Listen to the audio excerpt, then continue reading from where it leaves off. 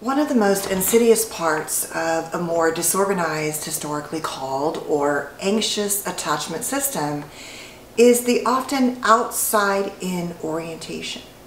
And if you watch my channel, you know what I mean, but if you're new here, welcome. What this really means is that because of the nature of our parents, inconsistencies, chaos, lack of predictability, whatever it was, we didn't really know what was going to happen necessarily on a, on a spectrum from like moment to moment. From sort of low end, the parent goes to work and has different schedules, you know, there and not there, to emotionally there and not there, to all the way up on the higher end, like a clinical experience with a parent with rage issues, things like that. So basically we have these dynamics where we learn to focus on the other first and it becomes who we are. It is an outside in orientation, as Dan Brown and David Elliott talk about it. And I think this makes a lot of sense and it really aligns perfectly with the concept of hypervigilance because hypervigilance says I must stay in a scanning state, on guard, seeking detection of threat at all times. And so these two are basically the one and the same. This orientation says not only can I not be good until you're good, but I'm really taking all of my even nervous system cues often off of you. So the degree of your hypervigilance in fight or flight might depend upon the exposure in childhood to this spectrum of things like lack of predictability, you know, eggshell parenting, things like that. But the bottom line is that it sets us up to not only watch others, read others, over interpret others, but to really often be compulsive caretakers because we are only good when you are good. And this plays out, I really believe, for traditionally, and I don't want to get into the political dynamics of this, I try really hard on all of my channels and pages to not share what I have my own opinions about for the most part but that historically women being the caretakers and even if a, you know the research shows if women are working full time if they're children for example even if they're not historically we tend to do the bulk of the caretaking. And so you have this you know gendered expectation this societal this cultured expectation. And also i think that you know every individual regardless of how you identify has some degree or comfort of their own capacity to be nurturing and nourishing to to other people, to the, to a child, and even to themselves. So the problem is you have this deep setup that says, A, you know, you, you, you're supposed to be a caretaker, let's just say, for many people. And that's the expectation. And then if you had a childhood where not only in the childhood did you have to monitor and manage because of things like rage or lack of predictability.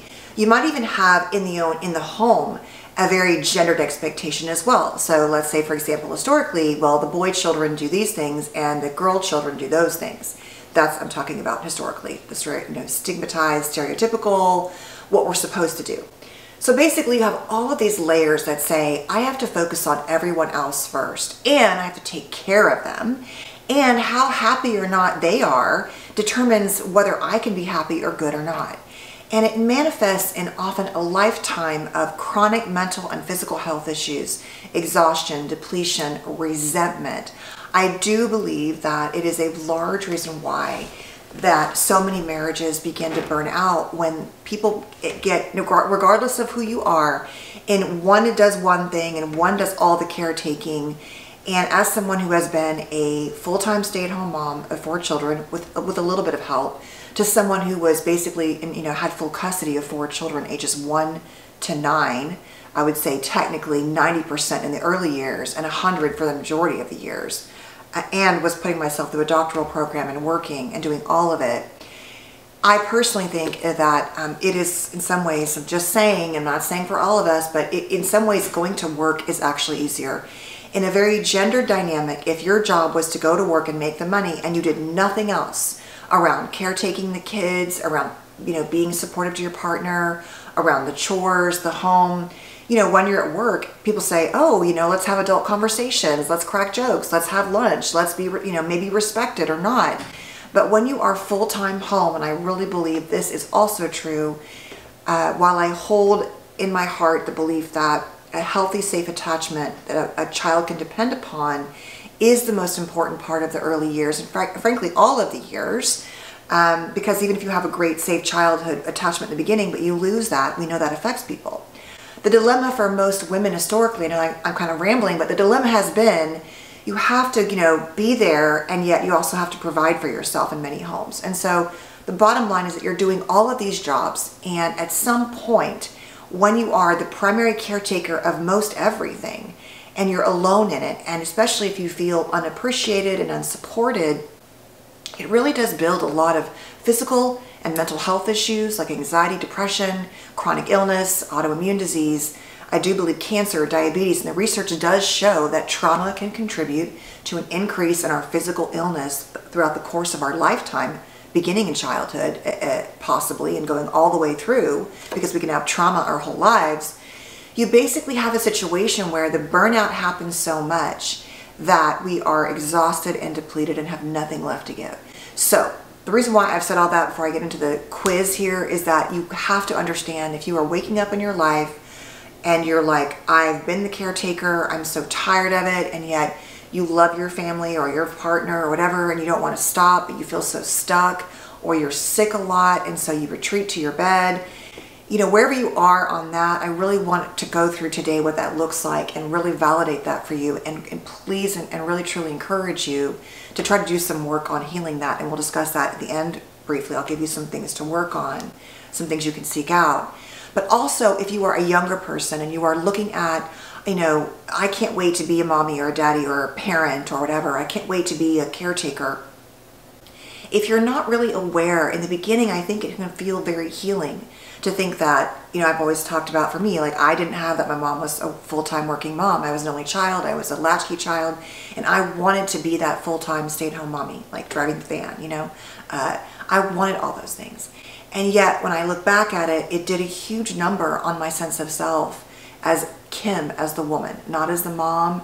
Uh, it did a different issue with my marriage. That's a different conversation. And I think that's also obviously related, first and foremost, to the partner I chose. But the bottom line is that you need to understand that there is no glory in setting yourself up as the ultimate sacrificer, caretaker, the giver. You know, I say to clients all the time, like, you're not this holy thing that's supposed to never have any sense of self. You know, you are a human being. And so it is really important to check yourself, especially if you're looking to heal childhood wounds where you didn't get the caretaker, so you want to be the super parent or the super partner um, it's a lot. It's it's it, it will take a toll. And so looking at how you want to manage that and trying not to become a compulsive caretaker is the goal. Okay, let's get into the questions. I know this is a long intro, but I really want to hit home about how important it is. It's not just, oh, are you a caretaker? It's that there are lifetime impacts to being in this role.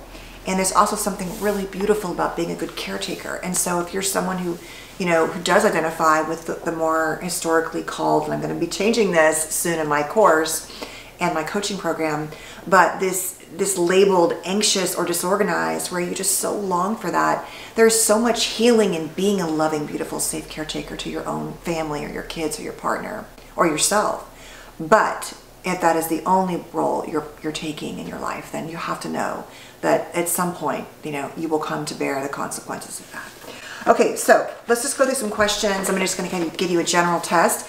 It is from this book, The Caretaking Test, Stop Caretaking the Borderline or Narcissist, How to End the Drama. There are a lot of questions.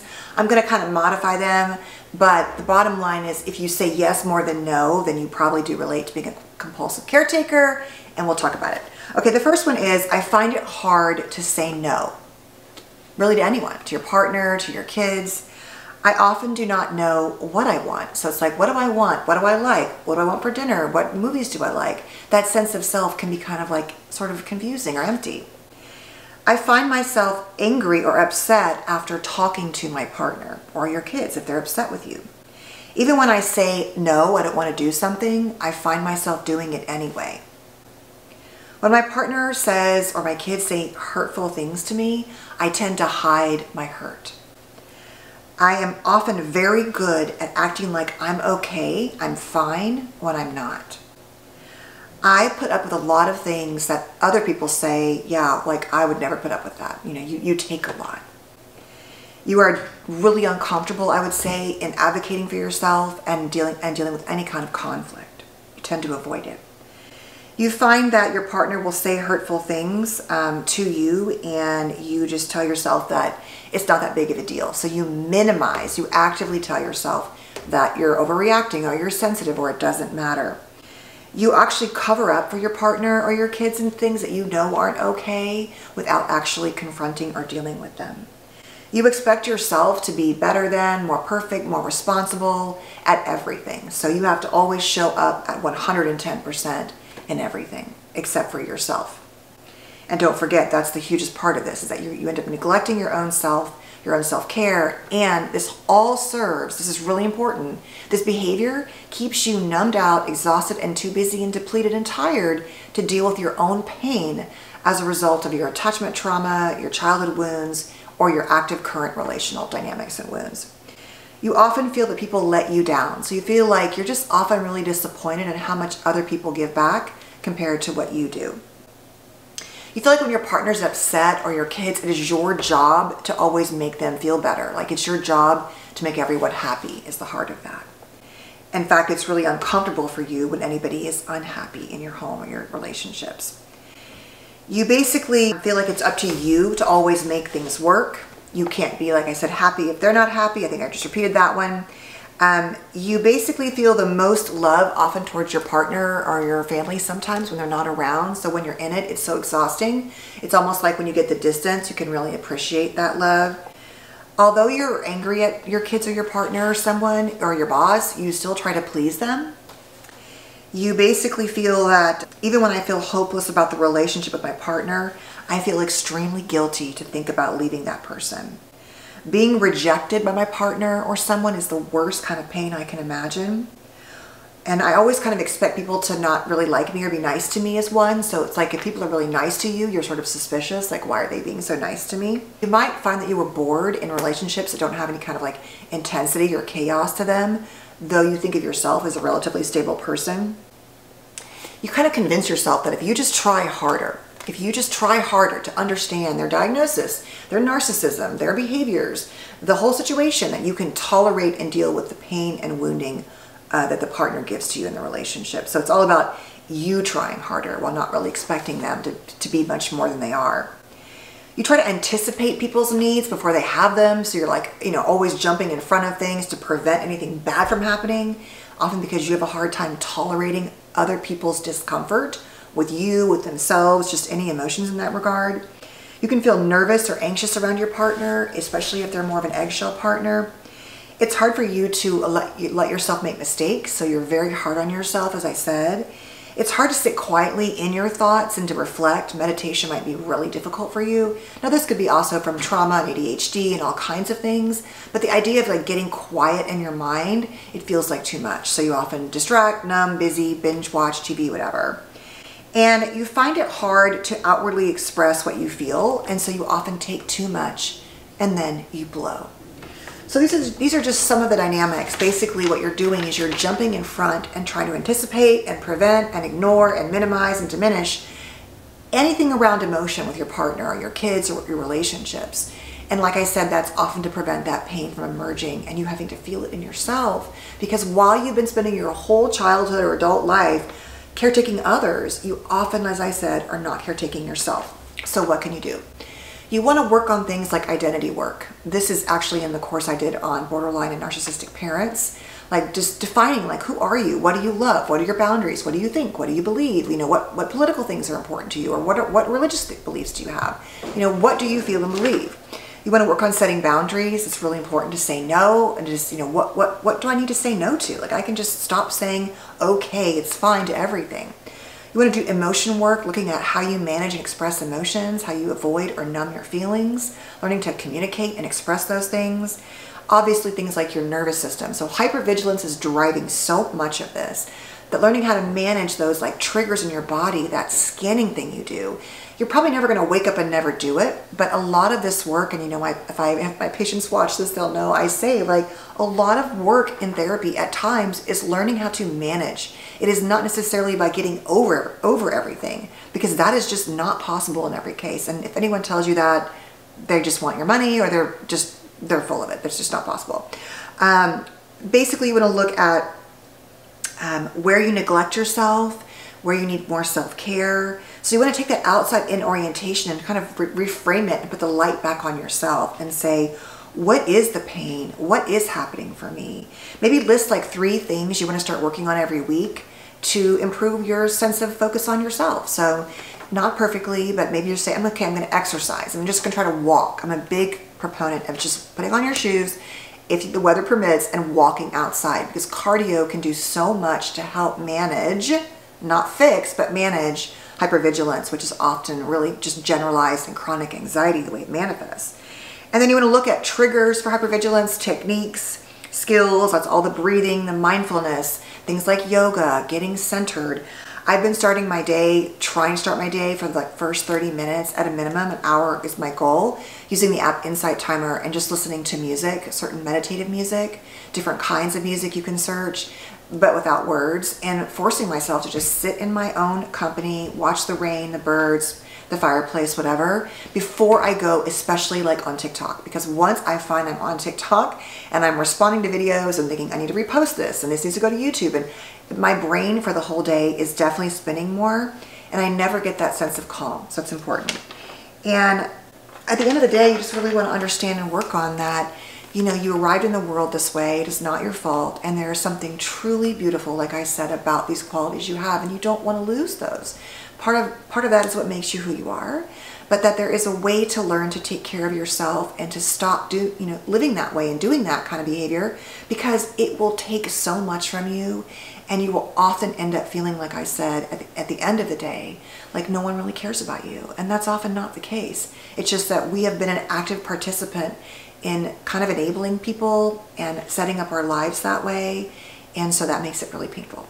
Really quickly, last two things. If you're new here, please consider subscribing and joining my little growing community, which is actually getting bigger. I'm talking fast as I'm in a hurry today, um, which you guys know in the beginning I really struggled with. And also I am uh, on, on TikTok pretty much every day posting one to five videos. I just took a week break, but I'm back and trying to post more things on skills. I know that you want more techniques and things. At times that's difficult because I don't think that you can fix a lifetime issue with a 30 second TikTok advice, but I also do think that we can share tips and tools. Uh, sometimes I think people are just like saying these like little poster platitudes like live, laugh, love, and you'll be free. And it's like, I think people like that stuff and they get a lot of views, but like, what does it actually mean? You know? And so I think I get myself stuck sometimes in the, like, I don't want to, I can't give therapy here, but I am going to try to post more of that because I know that you would like me to do that. And lastly, I'm finishing up my attachment coaching program, which is really going to go through a very deep dive, creating your own manual of your own attachment and personalized plan, covering everything from your childhood attachment wounds, trauma responses, um, how to deal with your attachment style and your the patterns and the parts. So I'm going to be reorganizing the theory using things like a, a bit of parts theory, I would like to stop using the words and go more to colors, which I'll, I'll explain more in a video. But there's going to be a program, it's a three month program, and it's basically just 12 sessions. The goal is to do a deep dive for you to emerge with your own manual. And I am doing at the same time, it's not going to be ready at the same time, but it's probably about 60% done, an online course, like my other courses, specifically on creating your own attachment manual, which will cover your nervous system, hypervigilance, um, your patterns and parts, how to understand self-regulation, your maladaptive beliefs. I'll be listing that too, also with all the little categories, because every session, just like the lesson in the course, will have a targeted goal for you to work on.